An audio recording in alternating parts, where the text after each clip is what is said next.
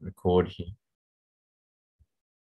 Okay, so um, where were we up to? Well, we were talking about uh, static electricity and uh, in particular, we were talking about how uh, induced charges work. So in this uh, picture of the lady with the laundry stuck to her, um, stuck to her, sticks to her rather, because basically the charges rearrange themselves um, and they rearrange themselves in such a way such as to uh, have like the opposite charges come closer to the charged object. So in this case, this sock, and then the like charges sort of go away. And then basically the combination of these things eventually results in a attraction because these positive charges are closer to the negative charges.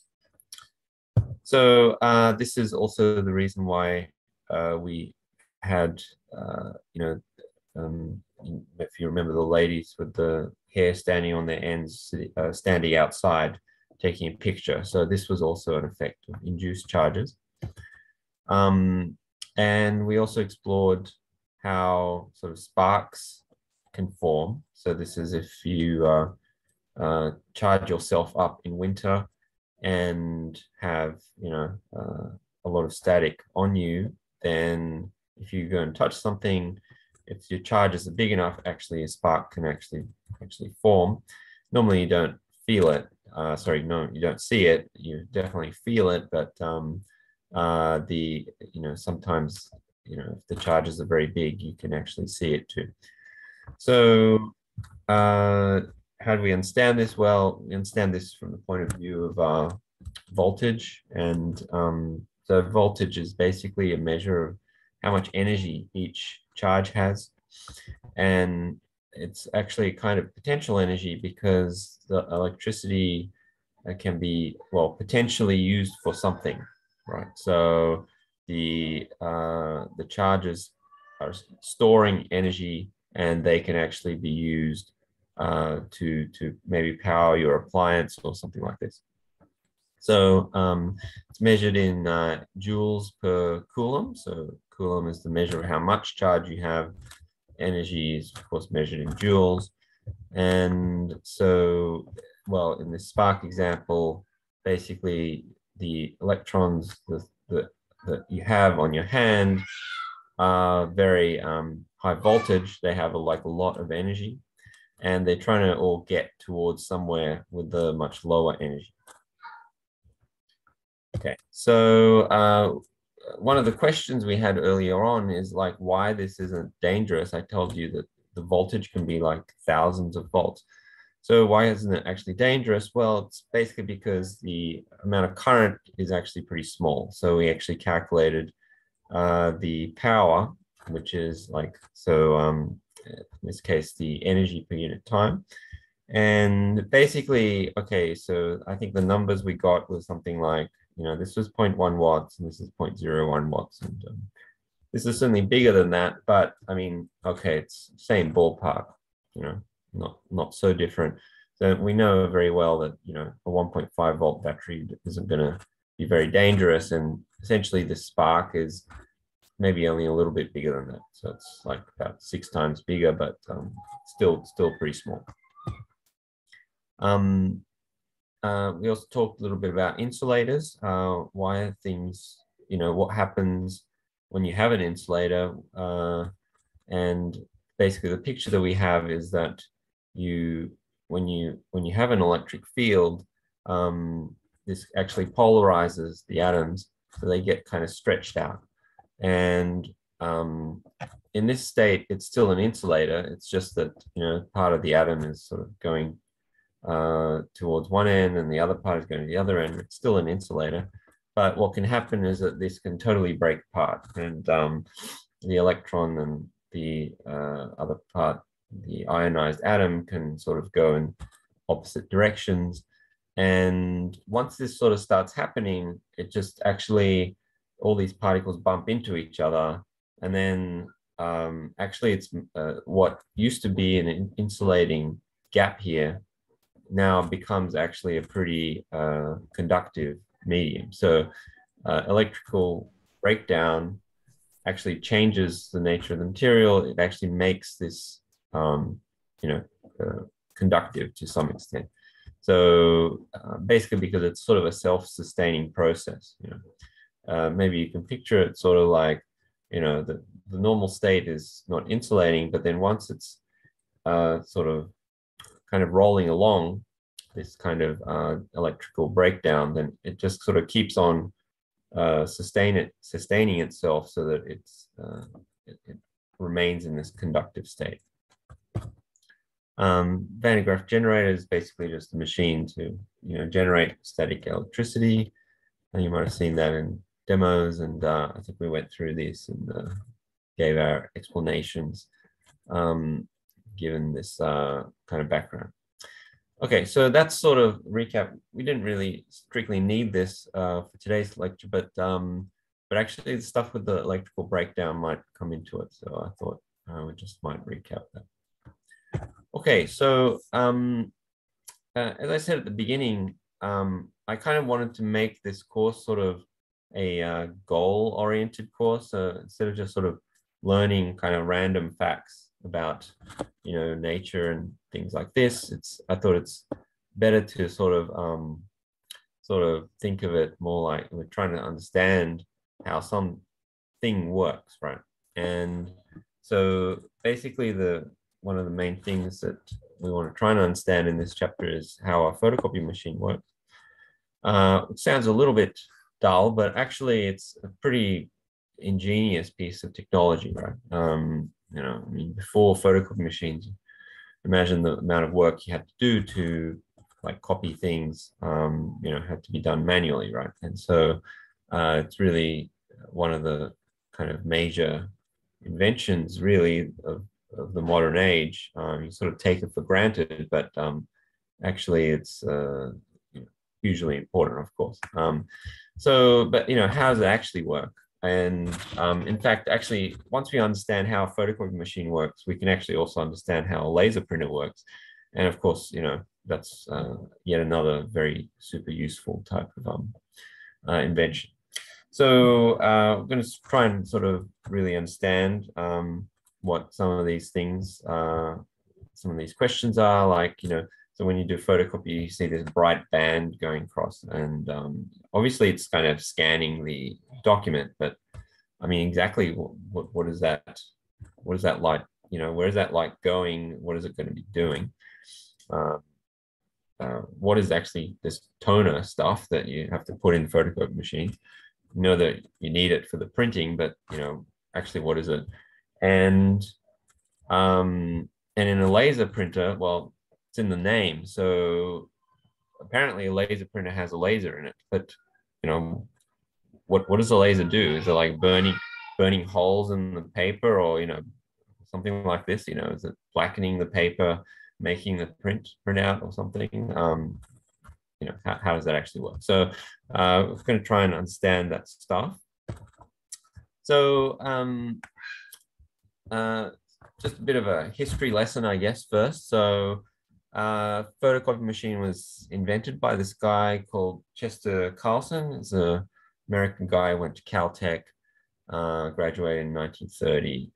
And um, actually with a lot of these people um, that invent various things, uh, they often do a degree in physics. So, you know, not, not trying to push physics in, in some way, but actually there's a, you know, very interesting sort of uh, you know group of people, very very famous people like um, uh, well you know like Elon Musk I think uh, did a physics degree, dropped out. Um, you might have heard of the WikiLeaks guy, um, Julian Assange. Uh, he's an Australian guy. Uh, one of my friends actually was um, he came in as a mature age student to I think uh, Melbourne University, and then so one of my colleagues was actually teaching him as a mature age student, and he also did a physics degree. I think Angela Merkel also did uh, some some kind of physics somewhere. So you know, I mean, it's kind of interesting to see uh, what people end up doing with uh, physics degrees. Um, somehow, uh, well, I mean, obviously it's related to a lot of technology and physics underlies a lot of that technology, but um, um, but often you see people um, in strange strange places uh, with, a physics degree. So um, so he worked in Bell Labs as a research engineer, uh, and then as a patent attorney assistant. Um, so uh, patent attorney is, uh, you know, basically a lawyer, but uh, deals with, I don't know if you're familiar with uh, getting patents. So I had the opportunity to apply for a patent once. Actually, in fact, I worked also in a patent attorney's um, office. But um, basically, because it's a very legal kind of thing, um, when you apply for a patent, you actually um, uh, you can't really write it yourself. It's basically impossible because it's it's a bit like you know asking us asking you to just like you know um, defend yourself in a in a court of law like you basically can't do it because you don't know the law and uh, you don't basically know all the rules. And you basically need to uh, be um, you know kind of uh, very uh, you know educated in, in that kind of area in order just to talk the same language. So it's not just a bit about being right but it's also about just um, having corresponding training and uh, the ability to know these things. So patents are based very similar things. So even if you're, you know, a brilliant scientist, whatever, you've got this great invention, if you um, don't know how to write a patent uh, application, then um, you will probably uh, not get your patent through. And furthermore, probably the patent will be useless because you didn't write it in the way that um, is kind of uh, useful because ultimately this is a legal document to, um, you know, protect your sort of intellectual property and things like this, right? So uh, there's a lot of legalese. And um, so yeah, so he, he was working patent attorney. So yeah, I also did some kind of similar job at some point too. Um, but uh, yeah, but um, you know, it's, kind of an area maybe if you know some science, you sort of end up with. Right? Um, and basically, this guy kind of went and invented uh, this kind of device, um, and um, sort of a bit of a quote here uh, from a person that is talking about how uh, this was invented. So, so he's talking about electrophotography, and he's saying this had practically no foundation in previous scientific work. Chet, so this guy, put together rather uh, odd lot of phenomena, each of which was obscure in itself and none of which had previously been related in anyone's thinking. Result was the biggest thing in imaging since coming of photography itself. So basically, you know, this is a, a way of, of kind of doing photography, but it's uh, extremely um, kind of dif different to uh, the way photography works, which is, of course, you know, you have a camera, you have film. Well, I'm talking about the original kind of ways of doing photography, um, and uh, and I guess the main difference here is that in photography, you know, the old-fashioned photography, not digital photography, um, you have a photographic, you, know, you have the film, and then there's this process where you develop the film, right? So you develop the film, uh, and this is a you know chemical process where it's often done in a wet kind of situation, right? You have a film, and you know if you've ever seen movies of people developing film, then you know you you, you basically put your film in this photographic fluid and then develop it and then finally eventually get your photograph but um uh, you know, so there's a kind of a slow process. You know, in the olden days, you had to take your film to the film shop, and then you get your pictures back a week later, right? And you know, so um, this is this was a way to kind of bypass all that and just like basically get your final image like straight away. And so you know, it's kind of um, you know particularly revolutionary in the context of um, well uh, regular photography, which you know took like a week to get photos back, right? So um, he's saying he did it entirely without the help of a favorable scientific climate. I guess uh, 90, yeah. So um, I guess he, he was doing this in the I suppose in the uh, graduating 1930. So yeah, so 1930s. I suppose uh, this is sort of Great Depression, sort of a bit after that. So I suppose they're talking about that. And there are dozens of instances of simultaneous discovery through scientific history, but no one came anywhere near being simultaneous with Chet. I was amazed by his discovery now as uh, when I first saw it. So uh, this is like the first picture of the photocopy machine, uh, photocopy machine that he invented. So this is the thing that he um, first tested it on. Um, might be nice to just uh, watch a little video of him just doing a bio, just a little bio clip here. So let's just have a look at that. Um, I mean, we will sort of go through that a little bit more, but anyway, I think it's nice just to sort of get a sense of the time and um, you know the context of uh, you know when this kind of thing was made, right? Okay, so all right, so that's the guy. Um, yeah, so uh, um, yeah, so maybe maybe we can come back to the explanation of that, but. Uh, so, uh, so one of the key components is we just sort of the, the video. Oh, am I uh, sharing the right screen? Yeah, so that's fine. Okay, yeah. One of the key components of photocopier is this uh, so-called uh, photoconductor, right? And um, so this is, uh, yeah, it's kind of a, um, you know, it's not a not a very common effect, but uh, it can happen in sort of particular materials like uh, selenium.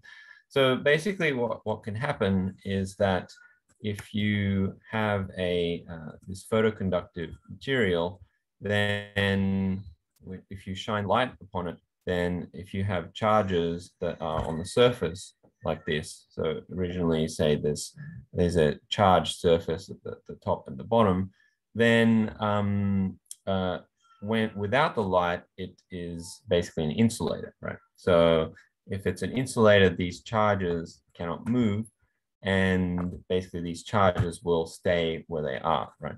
But as soon as you shine light upon it, then this material becomes a conductor. And then when when you have a conductor, then the charges want to they can move around uh, as they as they wish. And because these are charged like this, then they'll sort of come back together and you will not have this uh, charged surface. Right? Um, so uh, I think we'll come back to why you know this kind of material does this type of property maybe later on um, in course. But I think at this point, maybe just think of it like there's just particularly uh, this type of material that has uh, such such property. Okay, so um, so then basically the, the photocopy process sort of, uh, as sort of explained in the, in the video, uh, works a bit like this. So um, say you have this photoconductive material, then initially you've got to put these charges there, right? So, you know, these charges are not going to just be there without you doing anything. So you've got to sort of charge up this material so that it's got this uh, uh, sprinkling of, of charge on it, right? And so um, to put the charges there, you have this so-called um, corona wire, and um, we'll talk about this a little bit more in the in the slides that are coming after this. But basically, it's like some kind of source of uh, electrons, right? So you have um, basically a high voltage wire and the high voltage wire is kind of emitting electrons um, sort of out of it, right? It's so high voltage that it's sort of, uh, the electrons are just coming off the wire. Right? And by putting the negative charges uh, on the surface, and then so this is uh, in, uh, like first it has to be dark, right? So that the, the material is a insulating state. And if you put um, like a negative set of charges on, on the surface here, then what that will do, it will actually attract a bunch of positive charges from somewhere else because, you know, uh, basically they're all attracted to the negative charges and these electrons here, they can't move. Um, uh, these uh, positive charges come from um, basically uh, some like the ground or something like this. So this other side has a piece of metal on it so that like uh, this, uh, this is like connected to, you know, some like, you know, to, to ground so that, um, um, so basically there can be a flow of these positive charges that um, attracted to this uh, negatively charged side. Yeah. So um, so that's sort of like the initial setup. You need to make your uh, negatively charged uh, surface, and then you have this photo photoconductor. Then um, then you shine your uh, image onto it, and so this is like that uh, pattern with the date that said uh, Astoria or something um, with the date, right? So uh, you can make a kind of an image where here we're just seeing a cross section, so it's not really an image, but um, but if you shine light just where you want uh, the image to be, then what this will do is that these electrons that you shine the light, now those are free to move, right? So basically these electrons here um, now can start moving and because, uh, you know, the electrons, they don't want to go this way because there's lots of electrons here. They don't want to go that way. So basically the only way for them to go is down. And plus there's, you know, a bunch of positive charges here too. So they all go kind of straight down. And then once they are down there, they kind of neutralize uh, whatever charges there are. So basically, uh, after these charges move, then you'll get like this, um, you know, uh, parts where there are charges and then parts there are no charges. And basically, uh, you know, this is just a cross section, as I say, but but uh, you know, when you make a two-dimensional image, you'll get basically this sort of charged um, pattern of charges. It's like it's still invisible. You can't see it, see it because you know you just you can't see electrons with your eye, but um, but the electrons will have the pattern of charges um, according to the image that you want to copy. then um, you put toner on it. And basically toner is nothing but, um, you know, it's just like some kind of black dust. Um, and, but the key point is that they have to be positively charged. So you have to actually charge up this dust and you want to charge it up so that they're attracted to all the bits where there's the negative charge. Right? So you put it on this side and the toner is, uh, uh, yeah, gets attracted to, to this part. And then um, uh, you finally get your image that you could actually see. Then, um, uh, let's see, so, uh, right, right. And then, and then the next step is to basically get rid of these uh, excess electrons because now you got the black dust that are in the correct spots. So you don't really need these electrons anymore. So, um, you know, uh, we what we're going to do in the next step here is to actually try and transfer this black dust onto the paper. So this, this paper. So if we uh, have these electrons here still, then, you know, it wouldn't uh, want to go onto the paper uh, as well. So basically we want to um, kind of loosen these, this black toner from the surface, right? And the way you do that is just by shining light everywhere, right? Once you shine light everywhere, all the electrons can freely move around, and then um, you basically don't have these charges. And this black toner here is just sort of sitting there, just loose. Uh, finally, uh, basically you um, press your paper on the surface to transfer the, the black toner uh, onto the paper and uh, you can make sure that it gets transferred to the paper by again charging up this side with a negative uh, charge and then so it attracts these positively charged toner particles. Um, and then finally, uh, I think this toner is made of such a material that if you heat it up, then it will actually uh, fuse to the paper so that it um, you don't need this uh, negative charge to hold it there anymore. It will just really be uh, stuck to the paper. So, so basically, uh, you know, I mean, th there's you know several steps to this, but you know, essentially, what you're doing here is um, first making a kind of an image of the object, but first in, in charges, right? So here you have your image, it's just made of charge. And then you uh, sprinkle toner on it, which is positively charged, you know, black dust.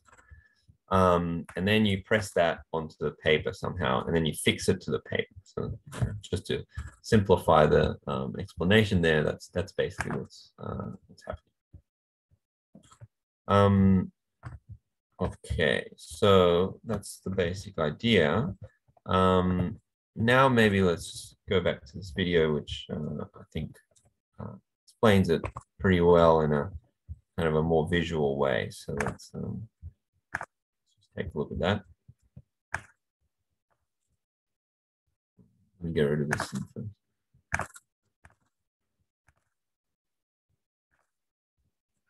Let's make this short and simple. A photocopy machine has following important components. A halogen lamp, a photosensitive drum,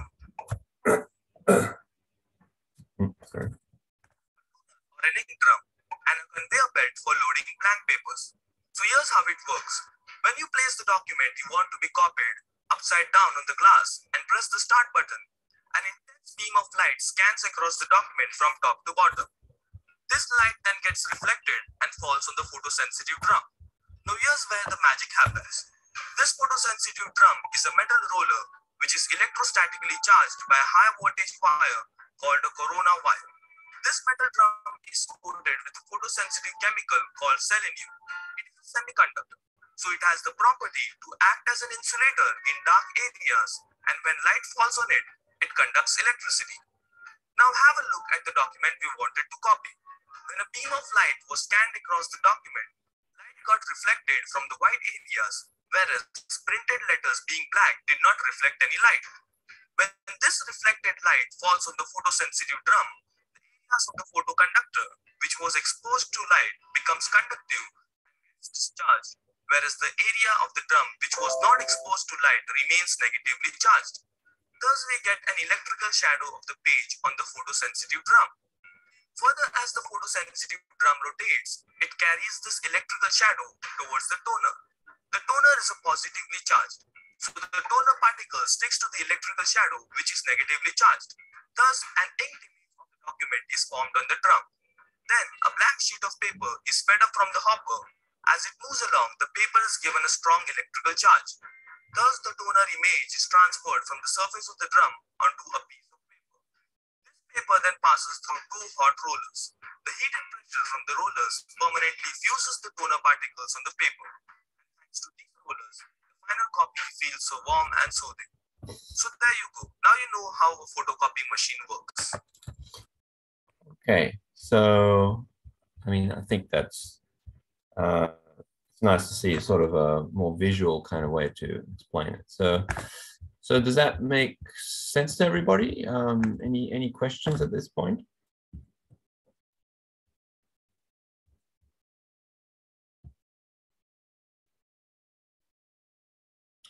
No. Okay. All right. Um, right. So that's you know that's the basic principle. You know that's I guess the most important part of the photocopier. But um, there are a couple of things which were uh, not uh, you know maybe completely explained. So um, so in particular, so yes, so this this photoconductor, you know, we might come back to that. You know, what why it's uh, why does it have this property that it conducts when it um, when it's light and then insulate when it's dark. We, will we'll, come back to that. But another thing that we didn't really uh, completely or glossed over is this um, uh, so-called corona wire. Right? So we were talking about this corona wire. So we were saying this is something that uh, creates negative charge, right? Okay, so sounds a little bit mysterious. Um, you know, what what actually is that? Well, um, uh, who's seen one of these uh, um, plasma balls before? Have you seen anybody seen one of these?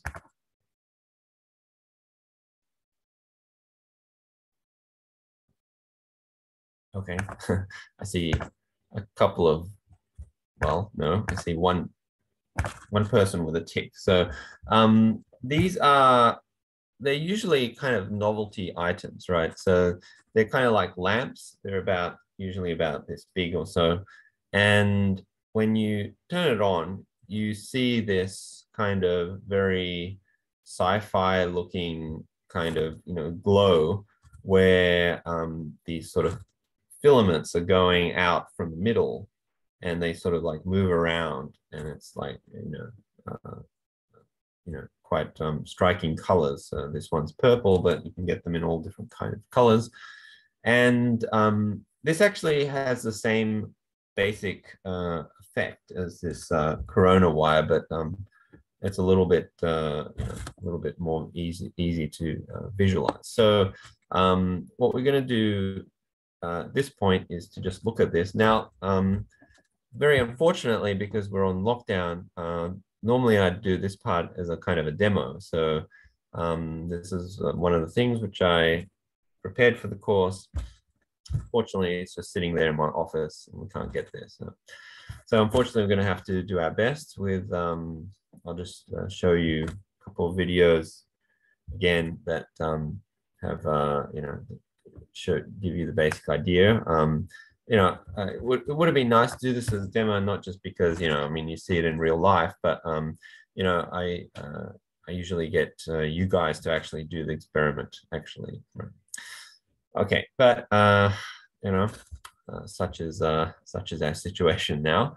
So, all right. So, what actually is this thing? Well, okay, hold on. Let, let's just uh, let me just show you because perhaps some of you haven't really seen this uh, exactly before. So let me just show you more or less like what this kind of thing looks like. So uh, looks kind of like this. So um, yeah, it's it's got this bulb here. This is a quite a small one, right? And um, and so what you can see is that this guy is uh, kind of touching uh, the side of it and when you touch the side, actually, there's like a strong filament that goes from the middle to, to the edges, right? And what he's doing now is um, so he's touching it, and I think this is a yeah, this is this is a um, electrical. Uh, sorry, this is just the audio plug, right?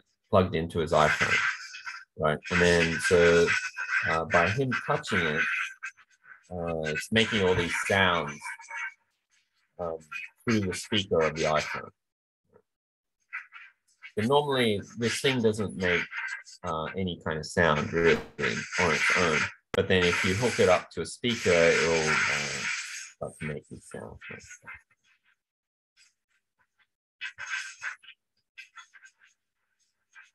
Okay, so, right. Well, see if there's anything else that he does here.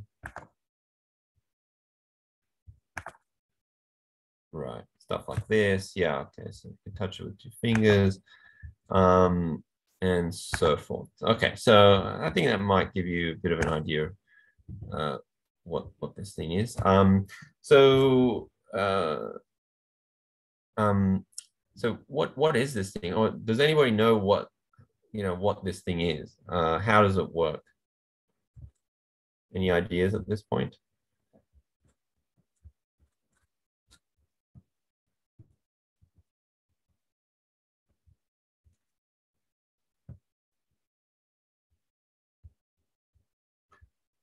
Okay, no, no, no takers. All right, so, uh, well, that's good because otherwise, uh, you should be teaching the course, I guess. Um, so uh, basically what this thing is, is, um, so firstly, so what's what's inside this globe? Um, well, whoops. Uh, so inside this globe is actually, it's usually filled with some kind of gas, um, maybe like neon, argon, xenon. Uh, these are noble gases, right? And these are also gases that you that are often used for, you know, like these neon lights. Right? So similar types of gases are put inside this globe. And um, in the middle is what's called a Tesla coil. And we're actually going to talk about Tesla coils a little bit later in this in this course too, I think in the next chapter. Um, but basically at this point, all I want you kind of understand at this point is that a Tesla coil is just basically something that um, uh, creates a, a, extremely high voltage um, AC AC um, well current, right? So this thing, uh, you know, you you plug it into the wall. So um, I, I think uh, for this type of thing, you need um, you need a you know something that's powered by the wall, uh, you know, and so it boosts up the wall voltage, which is like 200 volts AC and it boosted up to 2000 or 5000 volts uh, AC. And I think the frequency is also much, much higher, if I recall correctly. So um, the, the power that comes out of your wall is just uh, something like 50 hertz, but um, um, I can't quite remember the frequencies, but I, I believe it's much, much higher in this uh, Tesla coil. Um, and so basically what this thing is actually, it's a kind of a combination of this Tesla coil, which is this very high voltage AC current source, um, together inside a uh, globe, which is filled with some kind of gas like uh, neon. Or, so this thing was invented by Nikola Tesla. Um, so Nikola Tesla is, uh, have you all heard of Nikola Tesla? Hmm. Well, I guess you know it from the car company, I suppose. Yes. So uh, kind of interesting that Tesla has become so famous in recent years. Um, so actually, probably when I was a student, um, I heard of Tesla. I mean, Tesla's, uh, you know, this is the unit of um, how you measure magnetic fields, right? So when you measure magnetic fields, one of the units is uh, Tesla. So uh, you know, as a physicist, of course, you would have heard of Tesla, but um, I think just somehow, eh, you know, in the last 20 years, everybody decided that Tesla is a, is a super genius. And um, actually, before 20 years, um, I'm not sure if uh, everybody would have necessarily uh, put Tesla at one of the, you know, really high ranking, um, you know, uh, sort of uh, scientists and things like that. I mean, definitely is that you know very famous but um, now you know kind of the perception is that he's like he's like another einstein or something like this right but um, it's interesting how it's just how uh, times change and then you know sort of things go in and out of fashion but um, uh, it, it, might might may very well be part of um, uh, you know the effect of um, tesla the car company too okay so so um, how does what, what, why am I talking about this uh, plasma coil? So basically, you know, uh, let's try and understand a little bit of, of what's really going on here. And so I've already showed you that video. Um, another kind of very interesting effect that this thing does is uh, uh, another one. So, and if you touch it, so check this out. Isn't it even much better in complete darkness? So I got here light bulb right here and boom, it turns on. Let's see how far away will it turn on. Wow, this is like a freaking sword. Boom. An interesting thing, it turns off right next to my hand. Hmm. Let's grab it shorter. You see, it turns off next to my hand. Uh, let's turn the light on. Let's see. You see, it turns off right next to my hand. Let's go a bit shorter. You see this one off, this one on. Now let's grab it actually a lot longer. Let's grab it by the end. Right. So, you know, this is another kind of very interesting effect because um, it uh, you know, this uh, fluorescent light is not connected to anything, right? So normally you'd think uh, in order to have uh, light, you need to connect your power supply to it, but somehow, you know, we're actually generating light without uh, actually even connecting any power source to it. So actually, this was one of uh, Tesla's um, grand uh, dreams, actually. So he wanted to uh, do, you know, wireless electrical energy transfer. So instead of, you know, our modern day system where we've got like, um, you know, wires connecting to every single home, he wanted to send that energy basically wirelessly, right? And so this is why he was working on stuff like this. Uh, in the end, I think uh, that was not, um, you know, a really feasible idea. Um, but uh, but actually, um, he was also uh, one of the great proponents of um, basically AC AC voltages as opposed to DC voltages, and um, this is uh, you know of course what we use today. So okay, so exactly his dream wasn't quite quite what happened, but I mean actually you know, the fact that we use AC uh, voltages everywhere is um, sort of um, part of his doing. Okay, so let's try and understand what, what is going on in this in this plasma ball here. So, uh, firstly, you know, the name. Um, what what is a plasma anyway? So uh, we know that, of course, there's you know three states of matter. Generally, people say three states of matter. So, you know, solid, liquid, and ice. Um, and of course, you know, this has ultimately got to do with the uh, microscopic structure of the of the atoms, right? So, in a solid, basically, you have a very, um, you know, rigid kind of structure where all the atoms are um, kind of fixed in place.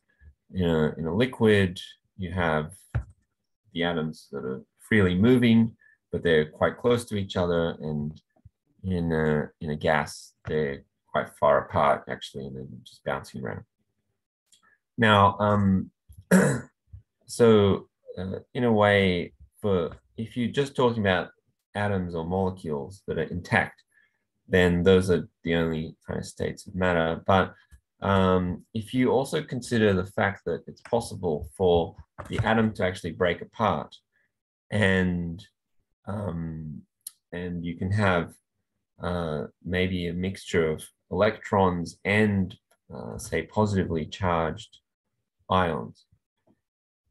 In this situation, where these electrons and the positively charged ions are free to move around, um, obviously this needs to be quite a high energy state because, of course, what you know, if you, if you have a low energy state, then the electron would just sort of recombine with the with the positively charged ions and you know, that's a more stable state. But um, you know, in a very high energy state, you can have this situation where you know atoms have so much energy that the positively charged ions and electrons are just all just like a kind of a soup of this stuff and um and uh the uh you know they're they're, they're sort of um you know in this in this state where you have all the underlying particles here are all kind of charged. In fact, um, you know, this is what is uh, happening in our sun.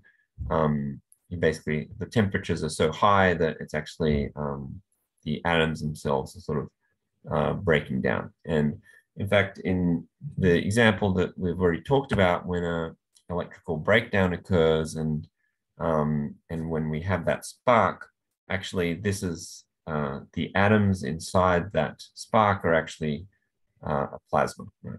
So um, it's a kind of an ionized gas, if you, if you want to say it in one word. Um, so how, how did we create this um, kind of plasma state in the first place? Well, it's a little bit already like what I kind of um, discussed before with how the electrical breakdown occurs. So uh, if you have a uh, a negatively charged uh, uh, potential here, then this can produce uh, electrons, and th this electrons can sort of collide into atoms, and then if they collide with the atoms uh, with sufficient energy, then what can happen is that they these atoms can further eject more electrons and um, now you've basically got like two electrons which can go and collide with something. And uh, usually there's also another terminal here, which is say positively charged or at least um, ground, which is zero volts. So all these electrons are kind of desperately trying to get from this side to this side. And so they're kind of going to be colliding with many atoms um, along the way. And so basically this kind of produces more and more um, electrons and positively charged atoms. And then so ultimately you have this kind of uh, soup of electrons and, um, and positively charged ions. So uh, essentially, you know, if you want to view it as like a chemical reaction of sorts, then it's sort of like if we're talking about neon, so this might happen in a um, you know, neon light tube, uh, then an electron will bump into a neutral neon atom, and then this will produce two electrons and a positively charged uh, neon atom. Okay, so uh, basically, you know, you have this kind of cascade of uh, cascade effect of electrons, and um, oops. So um, um, right. So in the case of the photocopier, what uh, we actually want to do is to make uh, plasma, but uh, we want to actually do that in air. So essentially what we're doing is, is, is kind of making a, a, a spark, right? Because as I said, a spark is a kind of a plasma, but we want to kind of do it in a, a little bit more controlled way. So, you know, you might imagine like you know, if you're running this corona wire on the surface of this, uh, you know, photoconductor, then, you know, you don't want it just sort of sparking everywhere. You, you kind of want an even distribution of these, um, uh, of these electrons, right? So it's, it's sort of like you want this kind of controlled, um, you know, generation of, of plasma uh, in this region. So um, in order to, to make the plasma, you need to actually um, uh, basically exceed this um, uh, threshold of uh, 30,000 volts uh, per centimeter. I think we already talked about this once in the earlier slides. And so when you have this kind of breakdown, then you know the air becomes this kind of plasma, and then it can uh, freely conduct uh, electricity. Um, now, uh, you know, does this mean that, you know, we need to really charge up this corona wire here to, to 30,000 volts? So, you know, that sounds like a super high voltage actually to have in a device like, you know, like a photocopier, you know, might be sort of dangerous and stuff. Um, so uh, one, you know, certainly, you know, if you if you look at this number, it kind of looks like you need to create like 30,000 volts on on one end of this wire. But uh, but actually, um, if you think about it, uh, you've got 30,000 volts, but it's it's per centimeter, right? So that actually means that it's 30. You need 30,000 volts. Like if you have two contacts which are separated by one centimeter, um, so certainly if you did it like this with like two plates separated by one centimeter, you would need 30,000 volts for this, for this spark to form. But uh, we can actually do, do a little bit better than that actually. And um, to, to sort of understand how we can do a little bit better, then we can think of uh, actually this 30,000 volts per centimeter uh, not really as a voltage, but uh, more like an uh, electric field. So uh, an electric field is basically, uh, it's closely related to that um, Coulomb's law force that, that we talked about uh, earlier on. So if you remember, we had Coulomb's law, which was, um, well, maybe it's easiest just to go back. So hold on. Coulomb's law, we had um,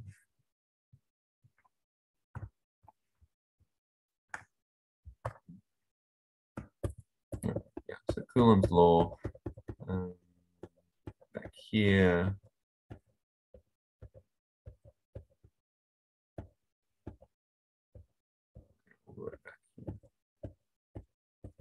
Okay, here we go. So uh, Coulomb's law, we had, you know, the force between two charges was uh, Q1 times Q2 divided by the uh, distance squared, right? So, and then there was some proportionality constant. So um, electric field is just almost the same thing, except that it's the force per unit charge, um, uh, you know, due to the Coulomb's law. So basically, if you just divide that formula, so same formula, just divide it by Q, which basically turns it into the force per unit charge. And so the way to think of this is that instead of uh, basically saying, okay, I've got one charge here and I've got another charge here, what's the force? Um, you sort of uh, say, all right, well, you know, what if, um, um, you know, I just think of this whole thing as a kind of a, a field that is extending out from some, some point, say, so say you had this charge here and say you consider that charge to be, you know, uh, something out of your control. It's just there. And then, you know, you are moving within this sort of landscape of the field. Then uh, basically, then the force that you would experience would be, you know, there'll be a map of force like this. And you kind of consider this to be the, the you know, the space where you, you potentially can be. And then um, now just the force, the actual force that you'd feel would simply be whatever this electric field is, and then multiply by whatever charge you you happen to be. So if you were like two coulombs, then you would multiply the electric field by um, two, and that would be your force. Um, now, if this uh, other charge was a negatively charged uh, charge, then of course it would be all attractive and basically it would be the works the other way. Now, um, uh, the kind of uh, uh, interesting thing about this is that there's uh, kind of two ways to think about the electric field. So you could think of it in terms of like a force per unit charge. That's more or less the definition. It's basically, you know, how much force per charge do you do you experience? But uh, you can also think of it as a, uh, in terms of a voltage uh, gradient. And basically they're, they're completely equivalent ways of um, thinking about it. So um, this is sort of the rough explanation, but uh, um, uh, so for example, if you uh, wanted to convert your electric field into a voltage, then because uh, uh, energy is like force times distance, right? Work is force times distance. So then we could actually relate the voltage um, to uh, the electric field in this way because electric field is like you know force per unit charge. But then if you multiply this by distance, it becomes energy per unit charge, and we already know that that's voltage, right? So actually, we can also think of the electric field as um, as basically electric field is uh, the voltage uh, divided by like the distance. Okay, and so this means that the electric field, the units of the electric field, you can there's kind of like two common ways to think about it, which is that it's uh, force per charge. That's more or less the definition here but it's also actually volts per, per meter. So it's actually like how many volts does it change uh, across some distance. So if you if you move, you know, if you're comparing the uh, the, the the voltage from here to here, um, you know, the voltage will change from from here to here because here it's positively charged, here it's negatively charged, and then uh, the electric field is sort of like how much does the voltage change um, across that distance? So it's voltage over this uh, over this distance. So um, so this is actually kind of useful to think about in terms of um, uh, of this uh, electrical breakdown. So uh, another way to then basically think about the breakdown voltage here of 30,000 volts per centimeter um, is that basically it's actually an electric field, right? So um, what actually causes the breakdown is not really, it's better not think of it as a voltage kind of dependent thing. It's, it's better to actually think of it like, you know, the voltage will break down if you have uh, this much kind of electric field. And um, so this 30,000 volts per centimeter is actually kind of the electric field that you need. And that actually makes sense because, you know, if you have an atom and you, what we're trying to do with electrical breakdown is that you got an atom and then you're actually trying to like completely break apart the atom. Right? So the electron and the proton is actually needs to go in different directions. And so you need a certain force for that to happen. And uh, you know, the minimal force that you need for that electrical breakdown to happen is basically this amount of 30,000 volts per centimeter. Okay. All right, so hope that's clear. Any questions?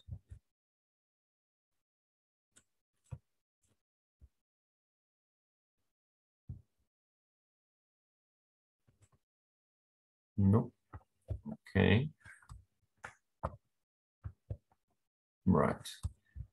Yeah. So um, then uh, basically using that idea, uh, what we can do is to uh, uh, compare basically like, you know, different shapes of objects and how they actually cause um, this breakdown um, or, you know, how easy it is for things to uh, cause electrical breakdown depending on their kind of shape. Okay, so uh, maybe we can just uh, just talk intuitively at this point. So suppose you know your hand was charged up to like you know thirty thousand volts, right? Now, um, uh, if you were to just go and touch this doorknob, which is like connected to the ground, right? so it's basically zero volts. Your hand is thirty thousand. Right?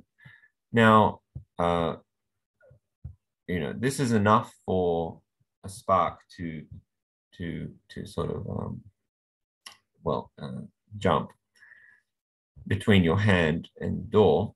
But uh, you could also have, if you're carrying like a small pin here, then um, a spark might also happen. Now, just intuitively, which one do you think would be, you know, more more easy for this uh, kind of spark to, to occur.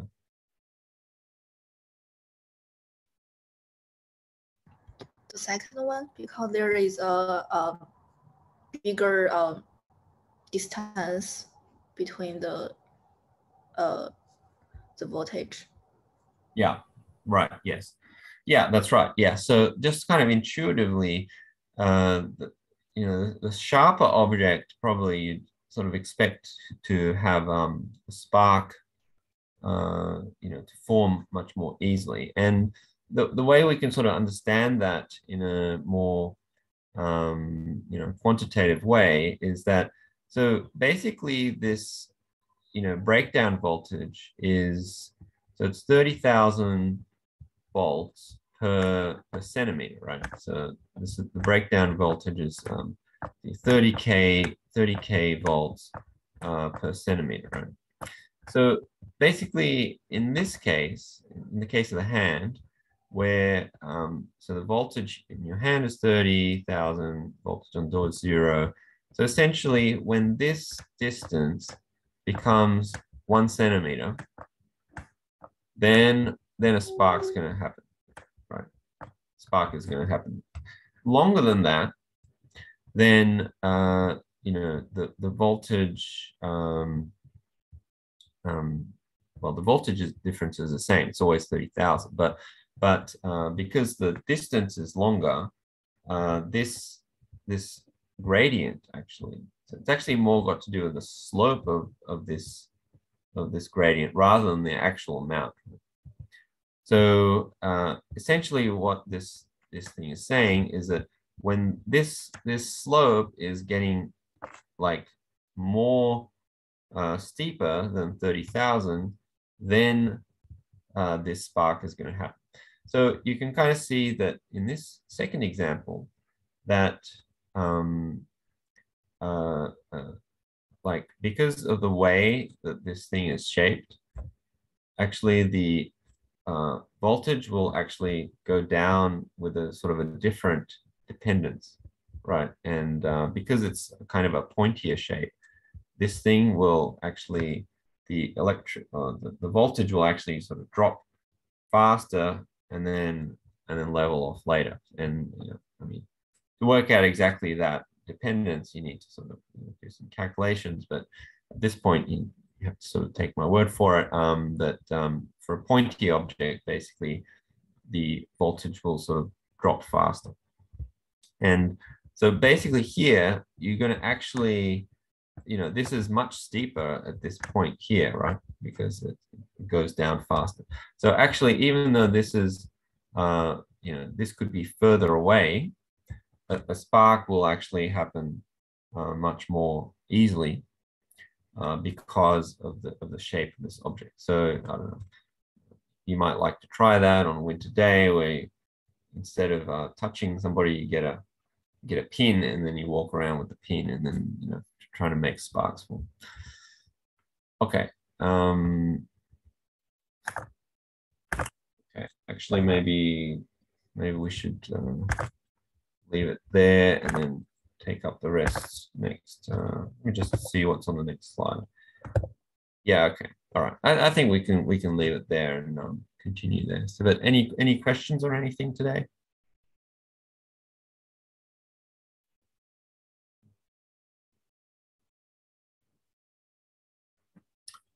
Okay, no, then good. Uh, as for the homework, uh, I think homework will be same as usual. So please just summarize what we've learnt in today's lecture, hand it into Brightspace. And um, otherwise, I will see you next week. Okay.